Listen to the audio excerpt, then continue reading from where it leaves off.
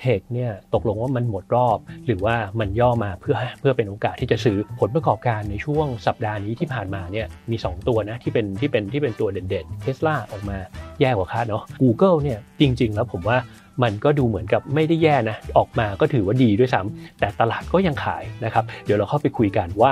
มันเกิดอะไรขึ้น แล้วก็ในตัว tech ใหญ่ ๆ ที่เหลือเนี่ยมันจะออกมาเป็นภาพลักษณะเดียวกันหรือเปล่า เพราะว่าตลาดเนี่ย set standard หรือว่าความคาดหวังเอาไว้สูงจนเกินไปหรือเปล่า ในสัปดาห์หน้าอย่าง Microsoft อย่าง Amazon เนี่ยจะเป็นตัวที่บอก แล้วก็เป็นตัวที่ชี้ชัดว่า ลักษณะของตัวการเติบโตของตัว cloud น่าจะยังคงไปต่อได้ ถามว่ากิน market share ได้ไหม กินได้ แต่ผมคิดว่ากินได้ในระดับที่เรียกว่า Google เขาไม่ได้ไม่ได้สะทกสะท้านอะไรนะดังนั้นเนี่ยก็อาจจะเป็นหนึ่งในที่มาว่าทำไมภาพของตัวหุ้นกลุ่ม tech ในช่วงเวลานี้มัน เป็นจังหวะว่าราคาปรับตัวลดลงมา อาจจะเป็นความกังวลความวิตกกังวลของตัวนักทุนทั้ง policy ของคุณคาเมล่าแฮร์ริสนะครับคุณ JD Vance ก็อาจจะเป็นตัวที่ผสมเรื่องราวนะครับจนทำให้เราอาจจะกังวลบนภาพของตัวหุ้นกลุ่มเทคโนโลยีมากเกินไป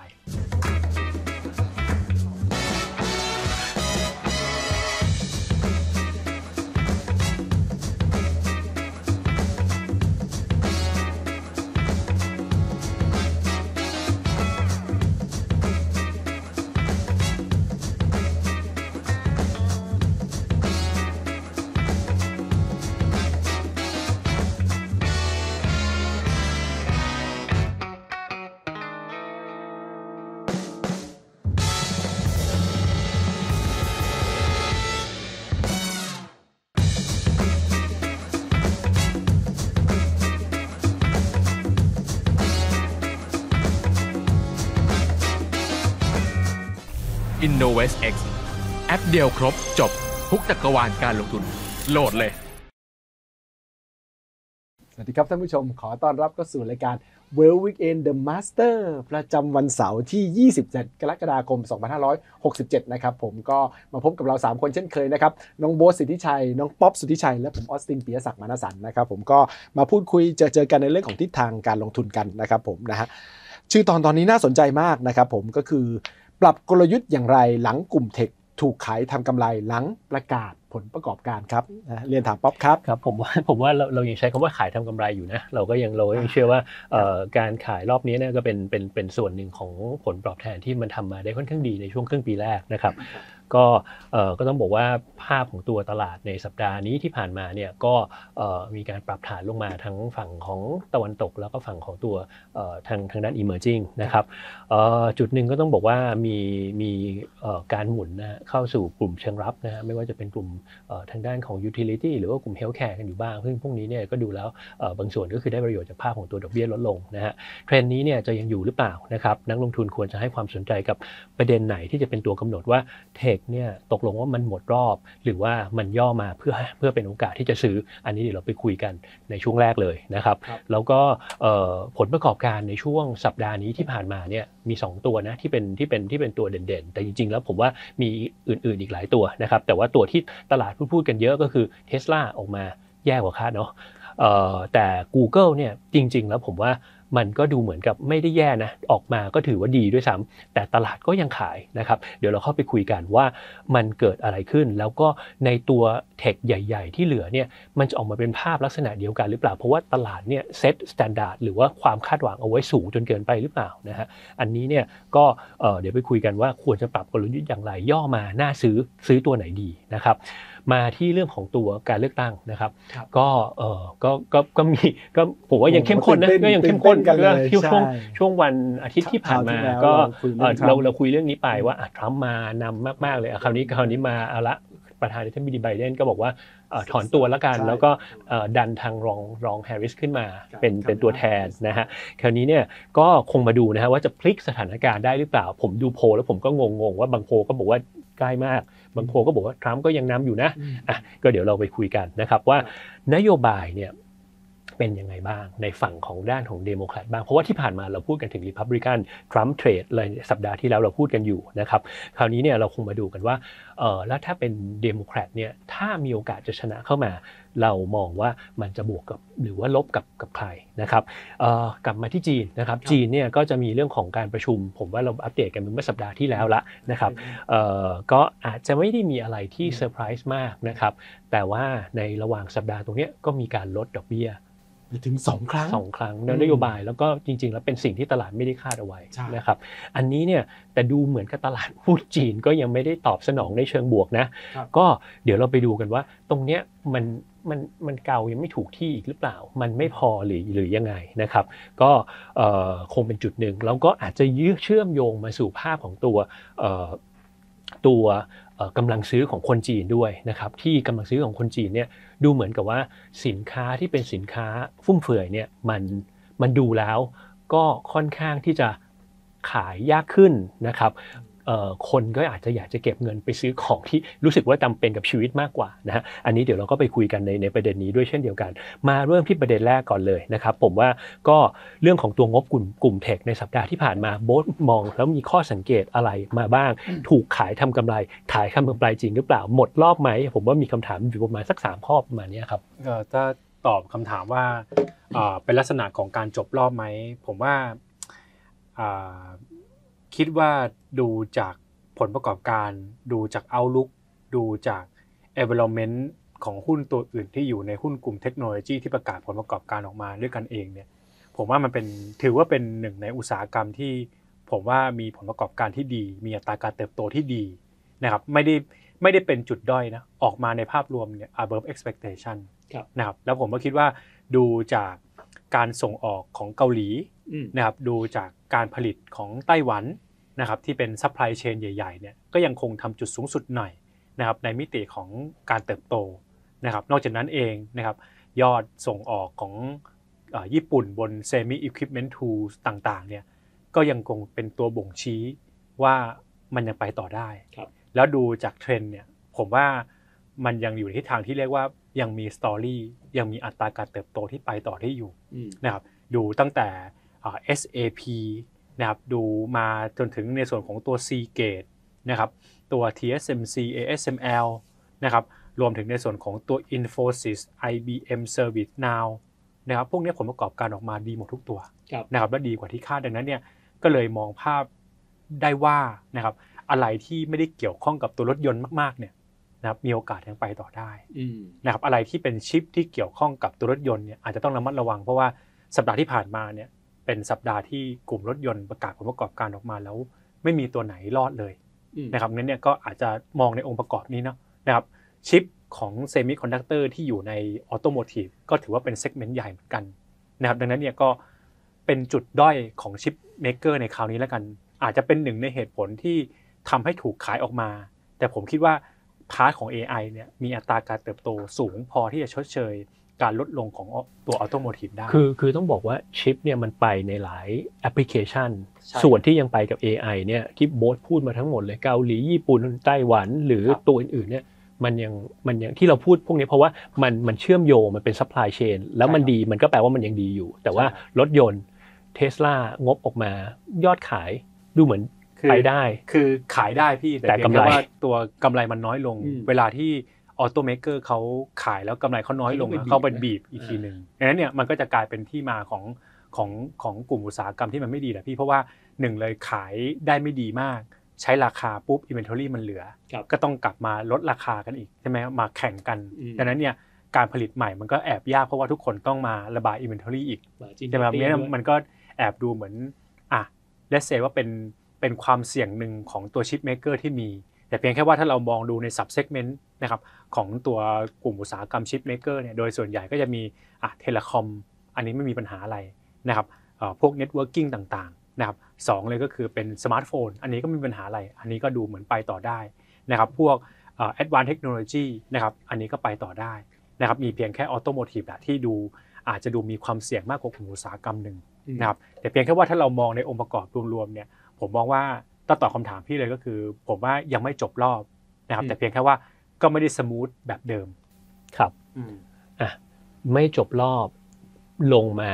มีโอกาสซื้อ โอเค คราวนี้เนี่ยถ้าเกิดเราพูดถึงอะวันนี้หุ้นเทคเอ่อเทคเจ็ดตัวที่ออกมาเนี่ยมีออกมาแล้ว 2 ตัว ที่เหลือเนี่ยโบ๊ทมองคิดคิดว่ามันมันจะออกมาภาพมีโอกาสที่จะคล้าย ๆ กันแบบนี้ไหมแล้วก็ครับเอ่อ โยงไปอีกคำถามหนึ่งเลยคือ คือย่อลงมาเนี่ยเราคงไม่ซื้อทั้ง 7 ตัวเนาะเราคงเลือกเขาเราคงเลือกแหละว่าครับตัวไหนเป็นตัวที่อยู่ในใจที่เราครับเตรียมตั้งรับเอาครัไว้บจริงๆ ถ้าดูจากผลประกอบการของตัวอัลฟาเบตนะครับพี่อะเริ่มจากตัวอัลฟาเบตก่อนแล้วกันเนาะนะครับตัวอัลฟาเบตเนี่ยต้องบอกนะว่าคลาวเนี่ยทำได้ดีอืมนะถ้าคลาวทำได้ดีโตในระดับแบบ 29% year on year 8% Q on Q เนี่ยนะครับ beat expectation ไป 3%นะครับ แล้ว margin ก็ถือว่าค่อนข้างดีด้วยเนี่ยนะครับมันก็อาจจะบ่งชี้แหละพี่ว่า เพราะว่าถ้าเราดู Google Cloud Backlog เนี่ยนะครับอันนี้มันทำจุดสูงสุดใหม่นะครับ80,000ล้านเหรียญนะครับที่มีตัว backlog อยู่นะครับอัตราการเติบโตคือ 30%นะครับแล้วก็ Google Cloud Operating Margin เนี่ยมันเกิน 10%เป็นครั้งแรกละนะครับตัวนี้มันมันบ่งชี้อะไรอะก็ต้องกลับไปโยงนะครับกลับไปโยงอีกตัวหนึ่งนะครับก็คือเป็นในส่วนของตัว SAP SAP นี้ก็ทำคลาวเหมือนกันครับนะครับเมื่อคนทำคลาวดีเนี่ยแสดงว่าคนที่เป็นเจ้าตลาดนะครับอย่างตัว AWS ของ Amazon เนี่ยกับตัวเอ่อตัวที่เรียกว่าเป็น Microsoft Azure เนี่ยนะครับน่าจะมีแนวโน้มอัตราการเติบโตที่ดีด้วยเช่นเดียวกัน ดังนั้นเนี่ยผลประกอบการในสัปดาห์หน้าของ Amazon กับตัว Google บนภาพของตัวรายได้เนี่ยคงไม่น่าใช่ปัญหาอะไรนะครับเพราะว่าดูจากคลาวและเป็นสัดส่วนสำคัญ และเป็น growth driver ของทั้ง 2 อันเนี่ย นะครับธุรกิจเดิมของเขานะครับของตัวไมตัวไอตัว Microsoft เองเนี่ยพวก Office 365นะครับก็ทำ monetization ได้อยู่ใช่ไหมครับคงไม่ได้มีปัญหาอะไรจากตัวหน้าจอฟ้าในสัปดาห์ก่อนหน้านะครับคราวนี้นะครับกลับมาอยู่ที่ตัว Amazon Amazon เนี่ยมันมี part หนึ่งที่เขาอยู่ในตัว e-commerce ครับตัว e-commerce อันเนี้ยต้องบอกนะว่ายังคงเป็น bright spot อยู่ ทุกคนมาใช้ e-commerce มากขึ้น เพราะว่ามีโปรโมชั่น ความเสี่ยงของตัว Amazon เนี่ยมันก็คือเรื่องที่เกี่ยวข้องว่ารายได้ที่มาจาก e-commerce อะดี แต่ margin เนี่ยไม่แน่ใจว่าจะถูก pressure มากแค่ไหน เพราะว่าทั้ง Temu ทั้ง Shein ที่เป็น part ของตัวการแข่งขันในฝั่งของตัวอเมริกาเข้ามากากันเนี่ยหมดเขาเขาใช้สงครามราคา ไม่ได้ใช้สงครามราคาพี่แบบทุกคนรู้ว่าอันนี้มันเป็นเป็นแอเรียที่มีอัตราการเติบโตสูง ทุกคนก็พยายามเข้ามาจับการแข่งมีขันโปรโมสูงชั่นเนาะใช่ มันเลยต้องทำโปรโมชั่นกันเยอะขึ้นอืมดังนั้นเนี่ย ส่วนส่วนความน่าจะเป็นของตัว Amazon เลยคือในในความรู้สึกลึกๆผมอะผมว่าเรื่องการแข่งขัน ผมมองว่าตัว Amazon เนี่ยเขาเจอมาก่อนหน้านี้เยอะมากแล้วนะครับดังนั้นเนี่ยในไตรมาสนี้ก็อาจจะเป็นไตรมาสที่ ผมว่าการลดต้นทุนของเขา น่าจะชดเชยการลดลงของตัว Margin ของตัว e-commerce ได้ ในขณะที่ตัว A ตัว AWS ยังคงเป็นตัวชูโรงอยู่นะครับยังมีอัตราการเติบโตดี ดังนั้นเนี่ยในสัปดาห์หน้าอย่าง Microsoft อย่าง Amazon เนี่ย จะเป็นตัวที่บอก แล้วก็เป็นตัวที่ชี้ชัดว่าอ่าลักษณะของตัวการเติบโตของตัวคลาวเนี่ยน่าจะยังคงไปต่อได้ครับนะครับ แต่เพียงแค่ว่าก็กลับมาที่เดิมก็แค่กลัวแล้วก็กังวลนะว่าคาเพกบนภาพของตัวการลงทุนในใน AI เนี่ยมันจะเยอะขึ้นไหม เพราะว่าในสัปดาห์ที่ผ่านมาเนี่ย Google โดนทำโทษไปเรื่องนี้บนภาพของตัว AI แต่อืมแต่ถ้าถ้าถ้าถามในมุมผมอะผมแค่รู้สึกว่าการลงทุนที่เยอะขึ้นบน AI แล้วถ้าเขามองว่ามันเป็น growth driver เขาอะ กับอัตราการเติบโตในใน Gemini นะครับในคลาวในระดับแบบ 30%นะมันก็ไม่แปลกว่าพี่ที่คนจะลงทุนในอะไรที่มันเป็น bright spot มากกว่าเดิม คือคือผมจำได้ว่าเราเคยคุยกันว่า ถ้าเกิดลงทุนไปเยอะๆ แล้วเนี่ย แล้วมันไม่ make money กลับมาได้เร็วเนี่ยในอนาคตมันก็อาจจะแบบดาวน์ลง แต่วันเนี้ยภาพอันนี้มันนี้ก็ยัยังงไม่เห็นถูกไหมใช่ครับ มันมันอะแล้วสมมตินะพี่พี่ลงทุนไปมากกว่าที่คาดการไว้หนึ่งหนึ่งพันล้านเหรียญครับนะพี่ สมมติถ้าพี่ดูจากธุรกิจคลาวอะค่าเพก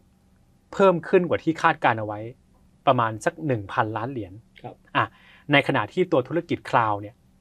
เขาอยู่ที่หนึ่งหมื่นล้านเหรียญอืมมีอัตราการเติบโต30%อืมแสดงว่าการเพิ่มขึ้นของตัวคาเพกที่ไปลงทุนใน AI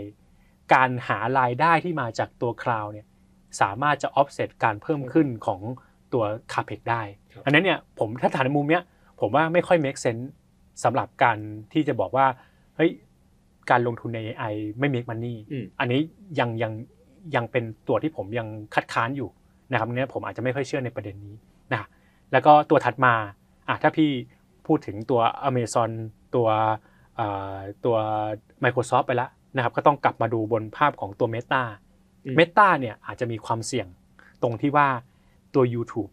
นะครับตัว YouTube เนี่ยเขา below expectation แต่ถือว่ามีอัตราการเติบโตดีนะพี่ 13% year on ครับ year แล้วก็ 7% Q on Q แสดงว่า Digital Ad เนี่ยยังไปต่อได้ ดูบนภาพของผลประกอบการของตัว Meta เนี่ยผมว่ามีอัตราการเติบโตแน่นอนอืมแต่เพียงแค่ว่าจะมากกว่าที่คาดการไว้ไหมเนี่ยบางทีมันเกินความสามารถไปนิดนึงครับนะครับนั้นเนี่ยมองก็คือผลประกอบการของทั้ง 3 ตัวที่กำลังจะออกมา Meta Microsoft Amazon เนี่ยผมว่าออกมาดีทั้งอืม3นะครับ อะอันถัดมาก็คือเป็นในส่วนของตัว NVIDIA ครับ NVIDIA เนี่ยผมค่อนข้างมั่นใจว่าค่อนข้างชัดค่อนข้างชัดเพราะว่าหนึ่งเลย TSMC ในอืมสัปดาห์ที่แล้วก็ประกาศผลประกอบการออกมาดีกว่าที่คาด กลับมาดูบนตัว SK Hynix นะครับที่ประกาศก็ดีผลประกอบการก็รายได้โตดีกว่าคาดโต 30%ออืม่ะดังนั้นเนี่ยมันบ่งชี้ว่าความต้องการอะดูคาเพกของ Google นี่ก็เป็นส่วนหนึ่งถูกไหมพี่อืมก็ ถ้าเขาลงทุนเยอะเขาก็ซื้อชิปเยอะครับผมใช่ไหมครับดังนั้นเนี่ยมันก็เป็นที่มาที่ไปว่าทำไมเราถึงมองว่าตัวหุ้นกลุ่ม Magnificent Seven น่ะผมว่าอัตราการเติบโตยังดีอยู่ครับนะครับดังนั้นเนี่ยผมก็ค่อยไม่ไม่ค่อยมีความเป็นห่วงนะครับในส่วนของตัวการเติบโตของตัวหุ้นใน Magnificent Seven เท่าไหร่นะครับแต่สิ่งหนึ่งที่ผมคิดว่าอาจจะต้องมีความระมัดระวังแล้วก็ต้อง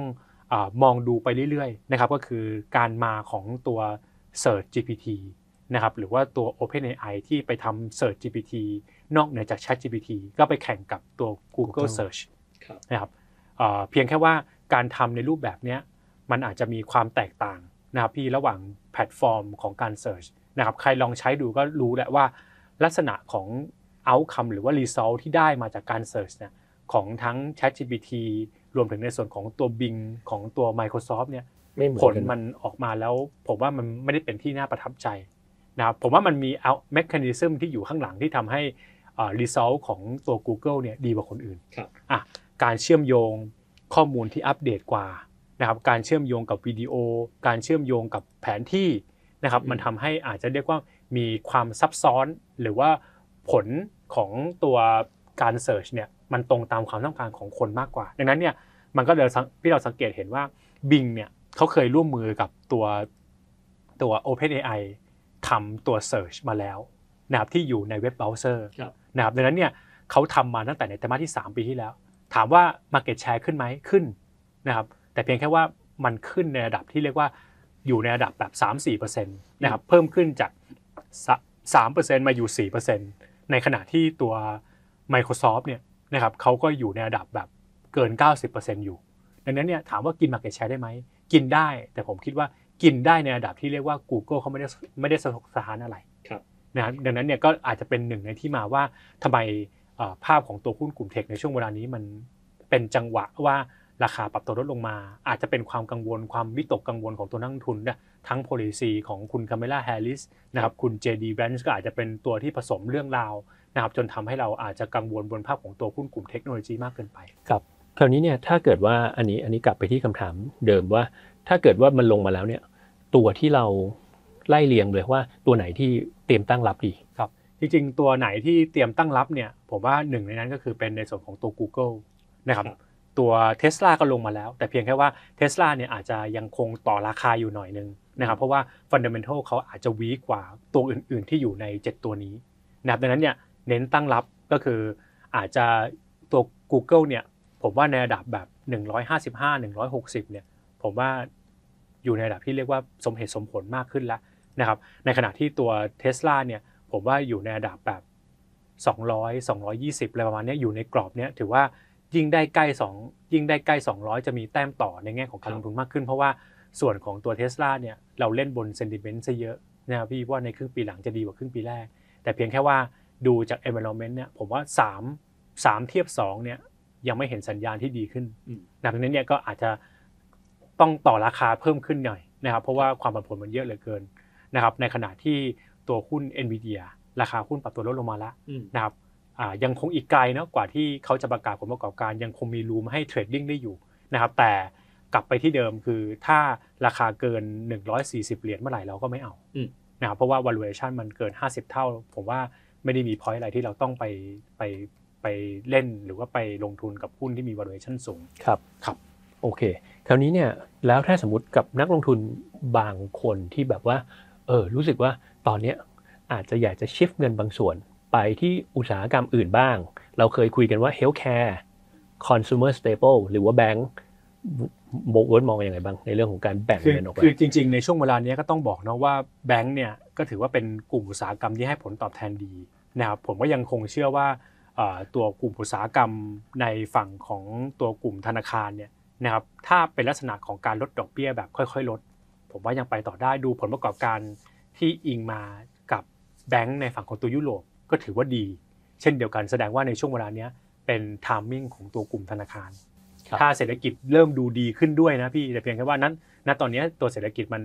มันมันมันเขาเรียกว่าเริ่มมันเริ่มชะลอตัวลงดังนั้นเนี่ยอาจจะเป็นหนึ่งในความเสี่ยงแต่ถ้าถามว่าคน shift ไปยังกลุ่มไหน ผมว่าแบงก์เนี่ยเป็นหนึ่งในกลุ่มนั้นนะครับ healthcare ก็มีไปอยู่บ้าง แต่เพียงแค่ว่าอาจจะไม่ใช่ตัว Eli Lilly ละเพราะว่า Eli Lilly เจอคู่แข่งคนใหม่ครับนะครับที่ตัวอ่าทำทำยาลดน้ำหนักนะครับแล้วก็อาจจะเป็น F&B เนี่ยก็อาจจะเป็นหนึ่งในกลุ่มอุตสาหกรรมที่ที่ที่คนรู้สึกชอบพวก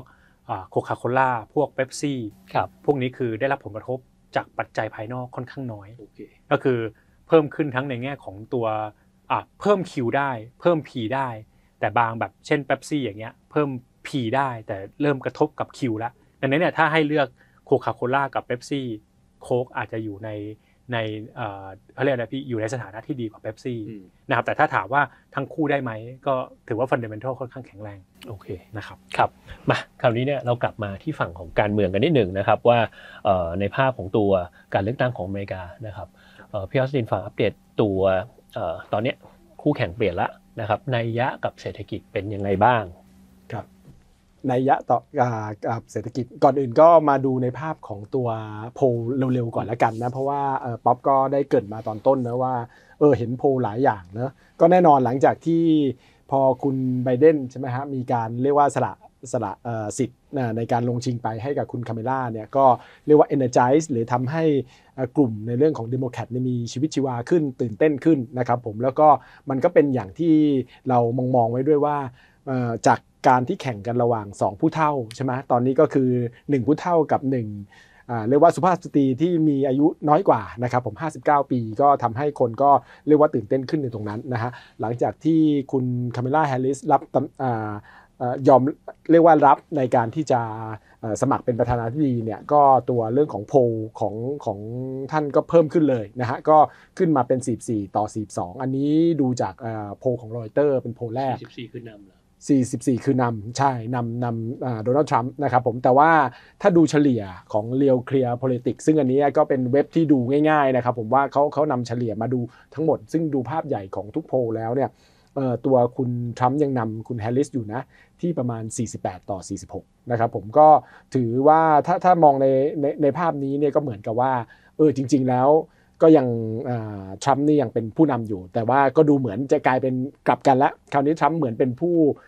เป็นประธานาธิบดีเสียเอง แล้วก็คุณแฮร์ริสเป็นผู้ท้าชิงนะครับผมนะอันนี้ก็คือเป็นประเด็นแรกที่ที่คุยกัน ประเด็นที่ 2 ก็คือเรื่องของตัว policy นะครับผมซึ่ง policy คราวที่แล้วที่เราคุยกันเนี่ย policy ของ Republican โดยเฉพาะของคุณทรัมป์เนี่ยเป็นการสนับสนุนในเรื่องของ pro business ใช่ไหมก็คือสนับสนุนในเรื่องของธุรกิจมีการลดกฎระเบียบอะไรเงี้ยลดภาษีใช่ไหมฮะแล้วก็เออแต่ว่าอาจจะไปโหดตรงที่เรื่องของการ tariff ใช่ไหมการขึ้นขึ้นภาษีสินค้านำเข้า ของทางฝั่งของเดโมแครตเนี่ยเขาจะกลับกันโดยภาพใหญ่นะฮะก็คือจะเป็นในเรื่องของการที่จะกำกับดูแลกลุ่มธุรกิจขนาดใหญ่มากขึ้นนะฮะอันนี้ก็คือคือ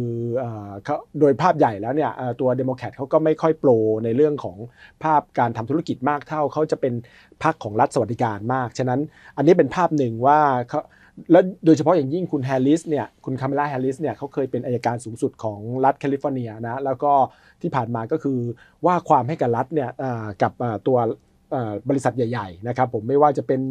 JP Morgan Bank of America City Group อะไรต่างๆเนี่ยแล้วก็สามารถเรียกว่าชนะละกันนะว่า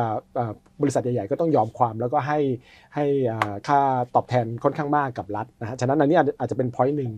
เรื่องของผู้อพยพเนี่ยเอ่ออันนี้คุณแฮร์ริสก็เป็นในเซนส์ของการที่เอ่อ่อไม่ได้เป็นแบบของคุณทรัมป์ที่คุณทรัมป์เนี่ยคือกีดกันไม่ให้เข้าเลย แต่คุณแฮร์ริสเนี่ยไปดูที่ฐานรากฐานของของปัญหาก็คือว่าอ่าเป็นเพราะว่าเอ่อคนจากอเมริกากลางเนี่ยเขาขาดอ่า ในเรื่องของรายได้ขาดในเรื่องของโอกาสก็คือจะเข้ามาในในอเมริกา ก็เลยทำให้คุณแฮร์ริสเนี่ยหันมาให้เงินสนับสนุนประเทศเหล่านั้นแทนนะครับผมฉะนั้นเรื่องของคนที่เข้ามาเนี่ยก็ยังจะจะยังยังยังมีเข้ามาอยู่นะซึ่งมันก็จะเป็นข้อดีตรงที่ว่าไม่ทำให้ตัวเรื่องของเงินเฟ้อขึ้นใช่ไหมเรื่องของสาธารณสุขเนี่ยอันนี้อาจจะเป็นประเด็นที่เอ่อโบสเขาพูดเสมอๆใช่ไหมฮะก็คือในเรื่องของการที่พรรคเดโมแครตเนี่ยสนับสนุนในแง่ของตัว ภาพเอ่อ Medicare นะฮะโดยเฉพาะอย่างยิ่งคุณแฮร์ริสเนี่ยเน้นหนักในเรื่อง Medicare for all เลย คือแทบจะเป็นคล้ายๆ ช่วยสุขภาพทั่วหน้าประกันสุขภาพทั่วหน้าเป็นวงกว้างเลย ฉะนั้นภาพเหล่านี้ก็คือในหลักการก็คือจะเป็นการกดในเรื่องของราคายาอะไรต่างๆ ไม่ให้สูงนักนะดีต่อประชาชน แต่ว่าบริษัทยาอาจจะรวมถึงตัวเรื่อง healthcare อาจจะได้รับผลกระทบบ้างนะฮะเรื่องการค้าเรื่องของตัว trade เนี่ยตัวคุณแฮร์ริสเนี่ย อาจจะไม่ free trade เท่ากับคุณไบเดนนะจะว่าคุณไบเดน free trade ก็ไม่ใช่หรอก เพราะว่ายังคงภาษีตัวตัว tariff อยู่ใช่ไหมแล้วก็มีการขึ้นนิดนึงด้วยซ้ำแต่ถ้าเทียบกับคุณทรัมป์นี่แน่นอนว่าคุณทรัมป์นี่คือ คือไม่ไม่เห็นด้วยกับเรื่อง free trade เลยใช่ไหมมีการขึ้นภาษี คุณแฮร์ริสเนี่ยไม่สนับสนุนตอนแต่ก่อนก็มีพวก USMCA ตัวข้อตกลงอเมริกาเหนือเนี่ยนะฮะการค้าเสรีหรือ TPP เนี่ย ธอก็ไม่ได้สนับสนุนด้านนั้น ฉะนั้นภาพเนี่ยน่าจะยังคงในเรื่องของนโยบายของคุณไบเดนอยู่ แต่อาจจะเป็นเรื่องของการทับมากขึ้นนะครับผม และที่สำคัญก็คือในเรื่องของตัวอันนี้ด้านภูมิอากาศนะด้าน climate change เนี่ยเธอโปรด้านนี้มากนะครับผม ฉะนั้นก็อาจจะสนับสนุนในเรื่องของการ มาตรการในช่วงช่วยบริษัทพวก EV หรือพวก Green Energy อะไรต่างๆ มากขึ้นซะด้วยซ้ำนะฮะและสุดท้ายก็คือเรื่องภาษีก็คือภาษีเนี่ยแน่นอนเธอก็เห็นด้วยกับการที่ว่าจะขึ้นภาษี โดยเฉพาะอย่างยิ่งภาษีของคนรวยนะฮะแล้วก็เอาเครดิตเนี่ยมาช่วยของคนจนนะฮะฉะนั้นภาพตรงนี้ก็จะค่อนข้างขัดกับทรัมป์นะก็คือว่าถ้าเผื่อเข้าไปสู่ในปีอ่า2569นะครับผมนะก็เมื่อตัวภาษีของคุณทรัมป์หมดแล้วนะตอนนั้นเนี่ยภาษีมันเด้งขึ้นเนี่ยเขาก็คงจะสนับสนุนให้มันเด้งขึ้น โดยสรุปก็คือพูดง่ายๆ คือว่านโยบายของเดโมแครตโดยเฉพาะแฮร์ริสเนี่ยจะเป็นนโยบายที่อาจจะ pro ประชาชน pro สวัสดิการ แล้วก็ด้านธุรกิจอาจจะเรียกว่าไม่ได้ pro มากเท่าของฝั่งของรีพับลิกันครับครับผมผมสรุปอย่างนี้อีกทีหนึ่งคือคือทรัมป์เนี่ยเน้นโดเมสติกอืมลดภาษีคนในประเทศ ตั้งกำแพงภาษีการนำเข้าใช่นะฮะแล้วก็อาจจะได้ดีกับพวกฝั่งของ deregulate พวกเทคพวกแบงก์อาจจะอืมอาจจะโอเคครับแต่ว่าในฝั่งของตัวเดโมแครตเนี่ยจะออกมาในโทนเรื่องของตัวรัฐสวัสดิการอืมกดราคายาอืมเพิ่มภาษีคนรวยอืมนะฮะแล้วก็เอ่อมีเรื่องของมาตรการเกี่ยวกับเรื่องของตัวพลังงานสะอาดอ่าใช่นะฮะใช่ภาพเนี้ยคราวนี้เนี่ยผมเอาตรงนี้ทั้งหมดกลับมาที่ฝั่งของภาพของการลงทุน อาทิตย์ที่แล้วเนี่ยเราคุยกันถึง Trump trade ถ้าเกิดว่าเราพูดถึงเดโมแครตเนี่ย คนที่ได้ประโยชน์ หรือว่าคนที่มีโอกาสจะเสียประโยชน์จากภาพตรงเนี้ย ครับ คือถ้าถามในมุมผม คือผมว่าถ้าเราดูในส่วนของก็อย่างที่เพรสซินบอกอะคือ ถ้าเป็นในส่วนของตัวรัฐสวัสดิการเนี่ย โดยส่วนใหญ่คนที่ได้ประโยชน์จะเป็นคนภายในประเทศมากกว่านะครับก็คือเป็น well being มากกว่า well being นะครับงั้นเนี่ยมันก็เลยดูออกไปในทิศทางที่เรียกว่า ถ้าคุณคามาลาแฮร์ริสขึ้นมาเนี่ยน่าจะออกไปในทิศทางที่เรียกว่าเป็น negative มากกว่าเป็น positive กับตลาดนะครับก็คือหนึ่งเลยคือเรื่อง financial regulation อันนี้ก็ชัดเจนเนาะนะครับเขาตั้งกองทุน 25,000 ล้านเหรียญนะครับเรียกจากแบงก์ใหญ่นะครับเพื่อสนับสนุนตัว consumer focus ล้วนๆนะครับสองเลยก็คืออาอาชีพของเขาคือ anti trust เนาะนะครับงั้นเนี่ยก็ เอ่อ M&A ในอนาคตข้างหน้าก็จะน้อยลงนะครับการควบรวมกิจการก็คือง่าย ๆจำกัดการเติบโตแบบ inorganic นะครับงั้นเนี่ยมันก็ดูเหมือนทำให้ลักษณะของการเติบโตเนี่ยมันทำได้ยากนะครับแล้วก็คนคนคนที่เขาไปอยู่ในลักษณะที่เรียกว่าเซนcenter to left หรือว่า liberal เนี่ยก็คือคุณเอลิซาเบธวอร์เรนนะครับคนนี้ก็ เอาเรื่องเหมือนกันโอ้โหเพราะฉะนั้นเนี่ยก็อืมก็อาจจะเรียกว่าอาจจะไม่ค่อยดีกับหุ้นกลุ่มเทคโนโลยีเท่าไหร่อืมผมว่าส่วนเนี้ยก็อาจจะเป็นหนึ่งในเหตุผลว่าอ่าทำไมในช่วงหลังๆ คนอาจจะกังวลหุ้นกลุ่มเทคโนโลยีมากขึ้นก็อาจจะเป็นเพราะส่วนส่วนนี้นะครับจริงๆ ไม่ใช่แค่คุณคามาลาแฮร์ริสนะคุณเจดีแวนส์นี่ก็ออกมาในโทนที่ว่าเป็น DNA เดียวกันก็คือเป็น anti trust อืมนะครับก็คือเขาก็บอกชัดเจนเมื่อวันก่อนว่าอืม M&A ในหุ้นกลุ่มเทคโนโลยีจะ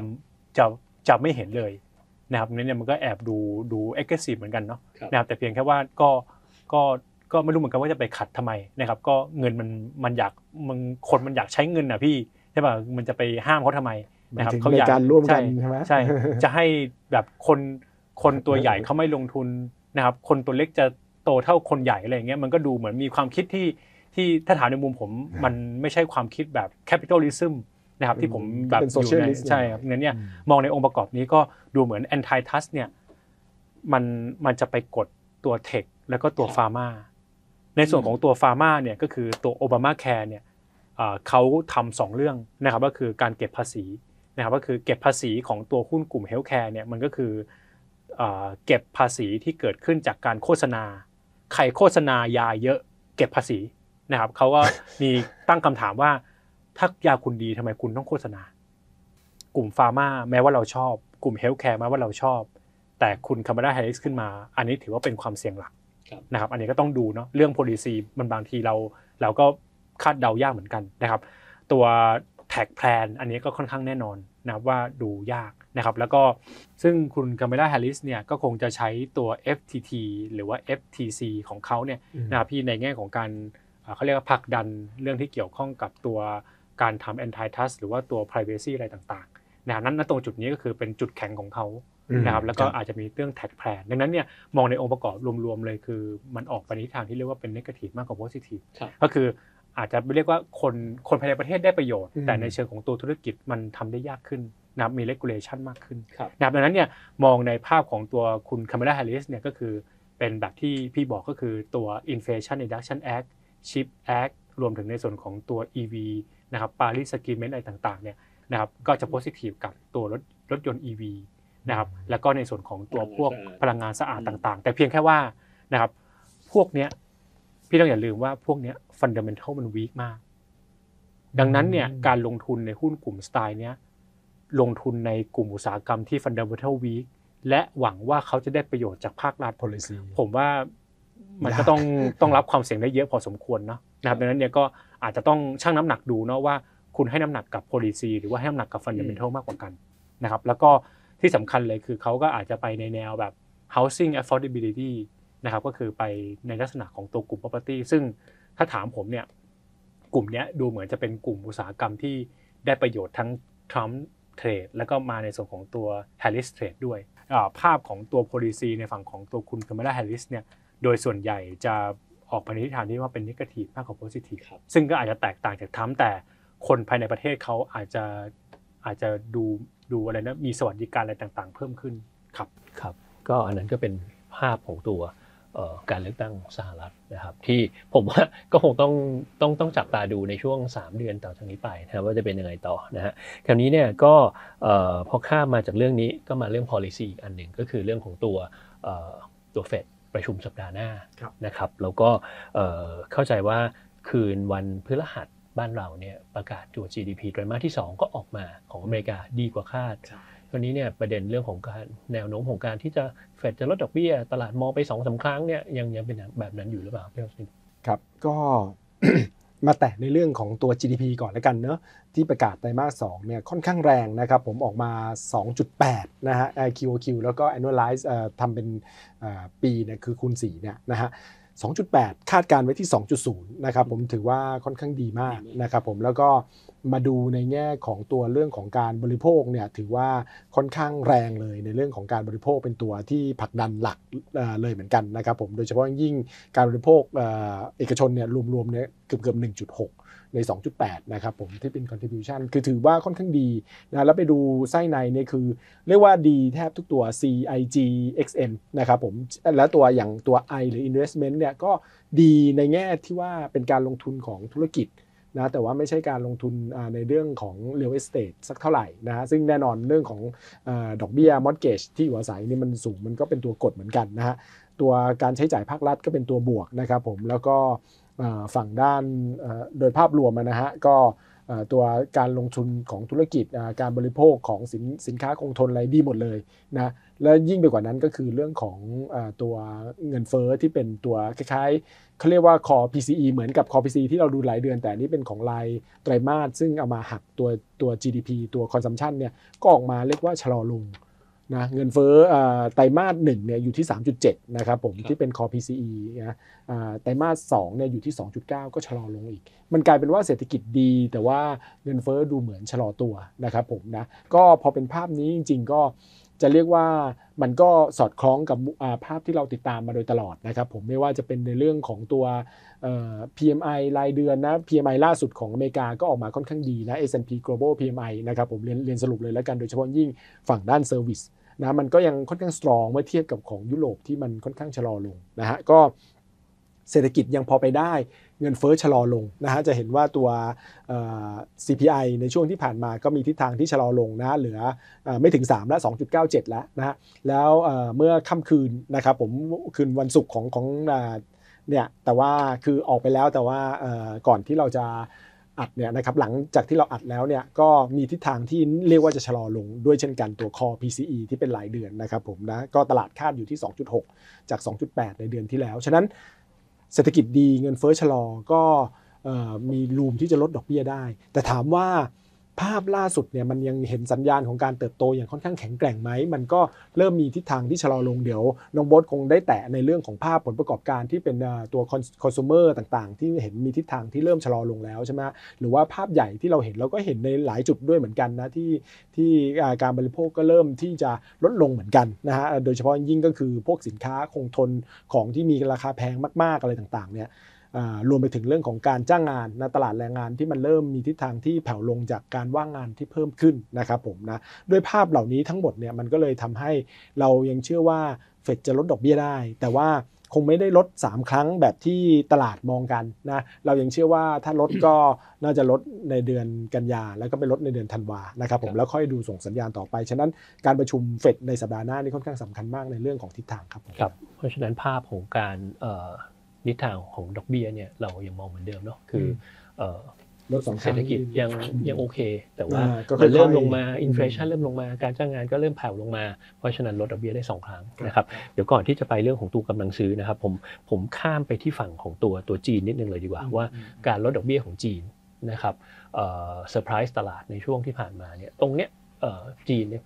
เอ่อมองภาพยังไง เราเราคิดว่าเขาพยายามที่จะ push ให้มันเต็มที่เพื่อจะให้ผ่านเอ่อ ให้ให้ตัวตัวภาพของตัวเศรษฐกิจเนี่ยเป็นไปอย่างที่เขาตั้งเป้าเอาไว้จริงหรือเปล่าครับก็สาเหตุหนึ่งที่เขาลดเรียกว่าลดเซอร์ไพรส์ด้วยเนี่ยก็อาจจะเป็นเพราะว่า ลิงก์กับตัว Third Plenum ที่เราคุยกันมาตลอดเนอะซึ่ง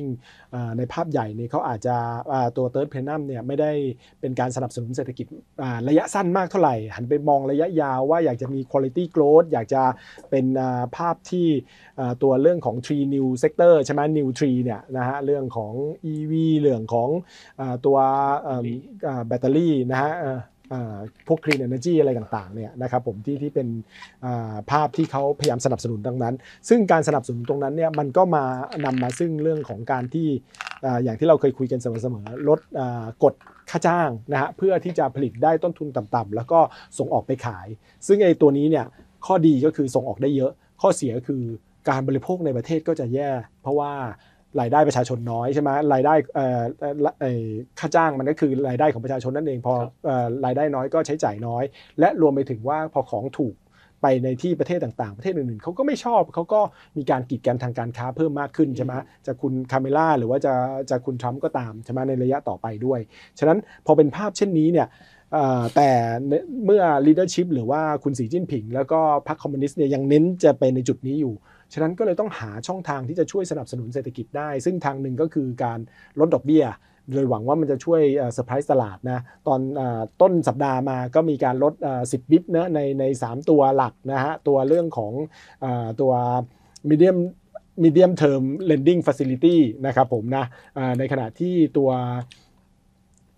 ในช่วงวันพฤหัสต่อวันศุกร์นะก็มีการลดลดขึ้นมาอีกตัวหนึ่งนะครับผมเป็นตัว one year MLF นะอ่าเมื่อเมื่อวันจันทร์นี้ลดในเรื่องของโลนพรามเลทนะครับผมนะแล้วก็ลดของตัว 7 วันด้วย ในภาพใหญ่ในมุมของพี่แล้วกันก็คือยังมองเหมือนเดิมว่าจีนเนี่ยเขาเป็นกับดักสภาพคล่อง ต่อให้ลดดอกเบี้ยยังไง ต่อให้อัดฉีดยังไง แต่ถ้า prospect ของเศรษฐกิจในอนาคตมันยังไม่ค่อยสดใสรายได้ยังได้ไม่เยอะเขาก็ไม่อยากที่จะจับจ่ายมาก ไม่อยากที่จะลงทุนมากขึ้น ฉะนั้นถ้าไม่ได้มีการเปลี่ยนในเรื่องของนโยบายอย่างมีนัยสำคัญเศรษฐกิจจีนก็น่าจะซึมซึมซึมซึมๆอย่างนี้ไปเรื่อยๆครับผมครับครับ ก็อันนั้นคือภาพของตัวตัวเศรษฐกิจนะครับผมผมเอาเรื่องนี้แล้วโยงกลับมานะครับว่าในฝั่งของตัวตลาดหุ้นจีนก็ จริงๆ แล้วลดมาตั้งแต่ต้นสัปดาห์นะแต่ดูตลาดหุ้นจีนก็ไม่ได้ตอบสนองในเชิงบวกมากนักนะครับแล้วก็เราก็ยังพยายามที่จะเอาไปลองลิงก์อยู่กับภาพของตัวงบของพวกแบรนด์เนมต่างๆ ที่แบบว่าดูเหมือนกับค่อนข้างที่จะสะดุดพอสมควร อันเนี้ยมันโยงกับภาพของการบริโภคของจีนยังไงได้บ้างครับครับ จริงๆ อย่างที่พี่วสินได้บอกไปคือผมว่าลักษณะของการลดดอกเบี้ยของจีนเนี่ยมันก็ เป็น dovish surprise ครับนะครับก็จริงๆก็มีสัญญาณอยู่เหมือนกันนะว่าเขาอาจจะจริงๆเขา easing มาพักหนึ่งแล้วล่ะนะครับคงไม่ใช่สัญญาณของอ่าอ่าของรอบใหม่ของการ easing เนาะนะครับพี่อืมคง easing มาเรื่อยๆแหละนะครับแต่เพียงแค่ว่าเขาอาจจะใช้อ่าไม้หนักขึ้นเรื่อยๆ เพราะว่าแต่เดิมเนี่ยไม่ค่อยใช้เรื่องดอกเบี้ยนะครับสองเลยคือผมเข้าใจว่าคนที่อยู่บนหอคอยงาช้างของเขาเนี่ยก็คงจะเริ่มมีความกังวลกับตัวหอคอยงาช้าง domestic demand เหมือนกันอืม นะครับซึ่งก็อย่างที่พี่วสินได้ได้นำเรียนไปแหละว่า ผมว่าปัญหาของเขาเนี่ยนอกเหนือจาก supply แล้วเนี่ยปัญหาก็คือตัว demand ด้วยอืมนะครับน่าจะซึ่งเป็งนหลักเลยด้วยละโดนซึ่งจริงๆตัว domestic demand อันเนี้ยมันก็จะเป็นลิงก์กับ growth target เขาที่5%เนาะครับอันนี้เนี่ยผมว่าอันนี้มันคือการทำเพื่อทำให้ achieve 5%ในเชิงของตัว GDP แต่เพียงแค่ว่า ถ้าเราดูในเชิงของตัวผลประกอบการเนี่ยนะพี่ผ่านตัว domestic consumption ในฝั่งของตัวเมืองจีนเนี่ยนะครับแล้วไปกระทบกับ คนที่อาจจะเรียกว่าเอ่อทำธุรกิจที่เกี่ยวข้องกับจีนเนี่ยจริงๆก็ต้องบอกนะว่าออกมาแล้วก็ไม่ได้มีใครดูดีสักคนหนึ่งนะครับไม่ว่าจะเป็นเรื่องรถยนต์ EV ก็ส่วนหนึ่งนะครับอืมแม้ว่าขายของได้แต่เพียงแค่ว่าเรื่องก็ต้องแข่งกันอืมอืมครับตัวลดราคา margin ไม่ดีก็ต้องแข่งกันลดราคา ซึ่งเวลาแข่งกันลดราคาปุ๊บเนี่ยมันก็เป็นที่มาว่าทำไมยอดขายมันจะลดลงตามไปนะเพราะว่า ทุกคนก็อยากจะรอที่ราคาต่ำสุดนะครับทุกคนไม่ได้อยากเป็นคนโง่บนโลกใบนี้อะไรเงี้ยนะครับมันก็เลยเป็นที่มาว่าทำไมทุกคนถึงรอ รอปุ๊บไม่ซื้อปุ๊บมันก็จะกลายเป็นอีกอีกอีก story แล้วว่าลดราคาแล้วไม่มีคนซื้อ อันนี้ยิ่งแย่กว่าเดิมนะครับต้องเอา inventory มันระบายอะไรเงี้ยนะครับมันก็จะกลายเป็นงูกินหาง แต่สิ่งที่ผลกระทบแน่ๆเลยก็คือ เรื่องเกี่ยวข้องกับตัวเออของใช้สินค้าแบบฟุ่มเฟือยครับนะครับแบรนด์โดยเฉพาะในส่วนของตัวแบรนด์เนมนะครับ Kering นะครับ Burberry Swatch รวมถึงในส่วนของตัวหลุยส์วิกตองนะครับอันนี้ได้รับผลกระทบจากจีนทั้งหมดยุโรปนะครับแต่เพียงแค่ว่าความเปราะบางของตัว consumption ในฝั่งของตัวเมืองจีนเนี่ยมันก็มีความแตกต่างกันเหมือนกันนะครับคนที่แบบรวยแบบตะโกนตะโกนเนี่ยนะครับอย่างพวกตะโกนแอร์เมสอะไรอย่างเงี้ยนะครับเขาก็ถือว่ามีผลประกอบการที่ดียังขายดีกว่าได้คนอื่นยังขายได้อยู่นะอันนั้นก็คือก็ตะโกนต่อไปใช่ไหมแต่คนที่เอ่ออาจจะไม่รวยแต่อยากรวย นะครับเขาก็ตะโกนจนเริ่มเสียงแหบแล้วนะครับณตอนนี้ก็เริ่มหยุดตะโกนนะครับก็เลยกลับมาโฟกัสนิดนึงว่าแบบเฮ้ยจะซื้อที่ไหนก็อาจจะไปซื้อที่ญี่ปุ่นแทน เพราะญี่ปุ่นค่าเงินถูกนะครับดังนั้นเนี่ยรายได้ของตัวหลุยส์วิกตองอาจจะดีกว่าคนอื่นตรงที่ว่ากำลังซื้อของคนเนี่ยยังอยากได้หลุยส์วิกตองอยู่ demand ยังมีอยู่แต่เพียงแค่ว่าเริ่มตะโกนไม่ค่อยไหว ก็เลยต้องไปหาที่ตะโกนใหม่ ก็คือไปตะโกนที่ญี่ปุ่นแทนอะไรเงี้ยนะครับเนี่ยมันก็เลยเป็นเป็นเป็นเป็นให้ให้เป็นเป็นเป็นส่วนหนึ่งนะครับที่ทำให้เราเห็นภาพว่าในช่วงเวลาเนี้ย luxury ไม่ค่อยดีนะครับแล้วผมคิดว่าตัวแนวโน้มเนี่ยน่าจะยังคงไม่ดีต่อไป จนกว่าเราจะเห็นสัญญาณการฟื้นตัวของหนึ่งราคาบ้านในเมืองจีนครับสองกับตัวราคาหุ้นในเมืองจีน เพราะว่า อันเนี้ยมันไปลิงก์กับมันคือ wealth effect มันคือ wealth effect ของใช่ของคของนคนจีจีนนเลยล่ะใช่ไหมครับงั้นเนี่ยอืมถ้าถ้าสองอย่างนี้มันไม่มาพี่จะทำให้ตายยังไงคนก็ไม่มีกำลังซื้ออยู่ไม่ดีบริโภคใช่ไหมครับพดีเรื่องที่เกี่ยวข้องกับตัวรถยนต์ก็ต้องหยุดลดราคาอืมนะครับดังนั้นเนี่ยมันก็ดูเหมือนเหมือนจะเป็นบ้านเราสองเลยนะกลุ่มอุตสาหกรรมที่มันดูอืมเหมือนเริ่มมีปัญหามากขึ้นครับนะครับ แล้วก็จริง ๆ ที่สำคัญเลยก็คือ จริง ๆ ไม่ให้แม้แต่ตัวตัวกลุ่มอุตสาหกรรมที่เป็นลักชัวรี่นะ การเดินทางการท่องเที่ยวเองเนี่ยที่ที่ที่ที่เราเคยเห็นเห็นที่บ้านเคยเราเนี่ยดีที่เราอืมบ้านเราเนี่ยเสียวๆเหมือนกันนะเริ่มนะพี่เพเผาราะว่าลงแล้วใช่ไหมคือผมว่าเรื่องเขาเรียกอะไรพี่ไอช็อปล้างแค้นเที่ยวล้างแค้นเที่ยวล้างแค้นอะไรเงี้ยมันแผ่มันวเริ่มเลยหายไปแล้วนะครับเพราะว่าสิ่งหนึ่งที่เราเห็นเลยก็คือ Ryanair Delta Southwest พวกเนี้ยคือปรับลดราคาตั๋วลงมาแล้วอืมแสดงว่าเขาก็แค่ต้องการจะ fill seat ให้เต็มอยู่ให้เต็มอยู่เมื่อวานเห็นข่าวเหมือนกันว่าแบบเอ้ยเดี๋ยวอีกแป๊บหนึ่งเดี๋ยวเดี๋ยวค่าตั๋วเครื่องบินอาจจะถูกลงแล้วนะอืมควรจะถูกลผงมเห็นข่าวผมเห็นผมข่าว่าวในนี้เหมือนกันผมผมว่าควรจะถูกลง เพราะว่าก่อนหน้านี้มันคือช่วงเวลาที่ดีที่สุดของของสายการบินละเพราะว่าอืมสายการบินเขาก็เหมือนกับทุกคนร่วมมือร่วมใจกันเอ่ออะไรนะพี่ผลักราเอ่คาอขึ้นผลักราคาขึ้นแล้วก็ก็ยังได้มาเอาเออโปรฟิตในปีนี้เพื่อไปชดเชยช่วงโควิด -19 อะไรเงี้ยแต่ณตอนนี้มันก็คงจะกลับเข้ามาสู่ระดับปกติมากขึ้นอืมทุกคน เห็นราคาหลังโควิด แล้วคิดว่ามันเป็นการช็อปล้างแค้นเที่ยวล้างแค้น ก็เลยมีการสั่งเครื่องบิน capacity ใหม่เข้ามา แล้วดีมานมันชะลอตัวลงคราวเนี้ยมันก็จะกลายเป็นแบบเขาเรียกอะไรพี่เหมือนแบบเป็นงูกินหางเหมือนปิโตรเคมละครับใช่ไหมครับเหมือนแบบลักษณะว่าเฮ้ยคิดว่าดีแต่สุดท้ายแล้วมันไม่ได้ดีอย่างที่คิดเอาไว้มันเหมือนแบบมันอาจจะเป็นภาพลวงตานะครับมันก็เลยทำให้เราเริ่มเห็นการใช้มิติของตัวสงครามราคา ซึ่ง อันเนี้ยมันเป็นเรื่องปกตินะพี่เพราะว่าในอดีตที่ผ่านมาสายการบินเนี่ยเรื่องที่เกี่ยวข้องกับการใช้ราคามากระตุ้นดีมานเนี่ยมันเป็นเรื่องปกติของเขาของเขา Price war อยู่แล้วดังนั้นคือ price war อยู่แล้วมันเป็นตลาดที่มีการแข่งขันโดยสมบูรณ์อืมนะครับแต่เพียงแค่ว่าเราอาจจะชินกับภาพของตัวสายการบินที่แบบเฮ้ยอ่าร่วมมือกันราคาอะไรเงี้ยซึ่งเดี๋ยวจากตรงนี้ไปเนี่ยอืมมันจะเริ่มมันจะเริ่มเป็นคนละทิศทางละนะครับเพราะว่าดีมานมันหายไปดังนั้นเนี่ยอะไรที่เกี่ยวข้องกับการท่องเที่ยว พวก Royal Caribbean นะครับ Booking Airbnb รวมถึงกลุ่มท่องเที่ยวในบ้านเราเนี่ยอาจจะต้องเพิ่มความระมัดระวังมากขึ้น เราไม่รู้ว่าเอาลุกของเขาเนี่ยมันจะดูดีเมื่อไหร่ แม้ว่าในช่วงเวลานี้อาจจะมีเรื่องโอลิมปิกมีเรื่องอะไรมาสนับสนุนอืมแต่เพียงแค่ว่าถ้ามองในเชิงเอาลุกของคนที่มีความเกี่ยวข้องกับกลุ่มท่องเที่ยวอะผมว่ามันมัน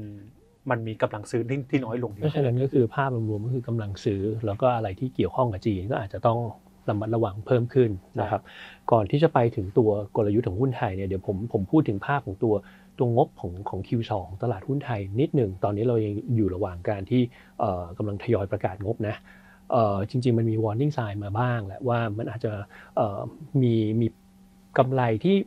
อาจจะไม่ได้โตอย่างที่คิดหรือเปล่านะครับ อันนี้เนี่ยก็คงจะไปเฉลยกันในช่วงหนึ่งเดือนข้างหน้านะครับ กลุ่มแบงค์เนี่ยกลุ่มแรกออกมาแล้ว รวมๆต้องบอกว่างบไม่ได้ไม่ได้ต่างจากที่คาดเอาไว้เยอะ แต่จุดหนึ่งก็คือเอ่อมันมีประเด็นเกี่ยวกับเรื่องของตัวคุณภาพของสินทรัพย์อะที่ที่ดูเหมือนกับออนแอร์ลง แล้วก็เรื่อง loan growth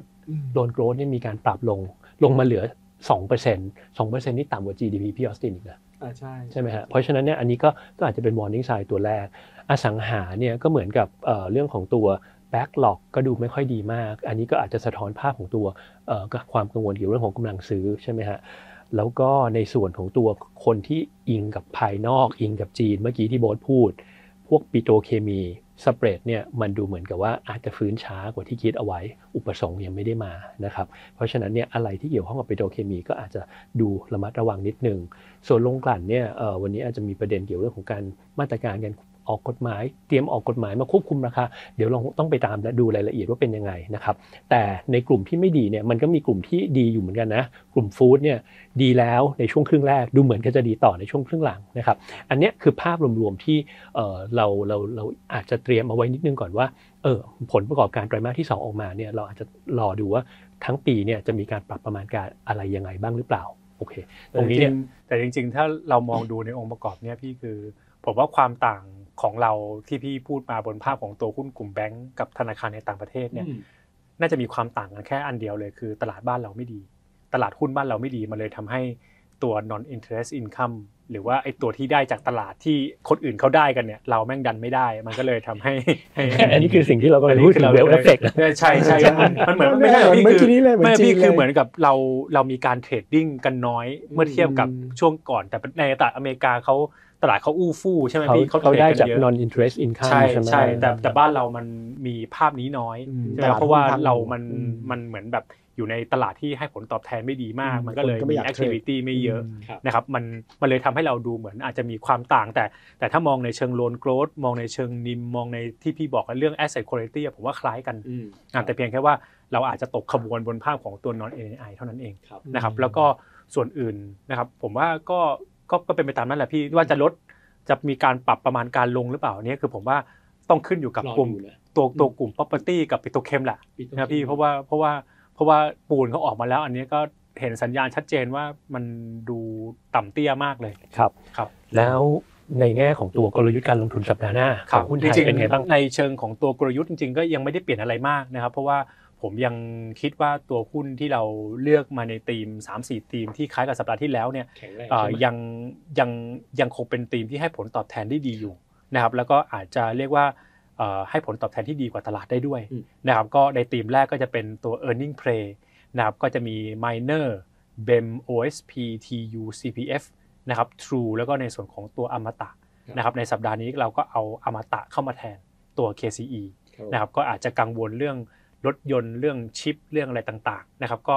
อ่าลองเอาตัวหุ้นที่อาจจะเรียกว่ามีฟันเดเมนทัลหรือว่ามี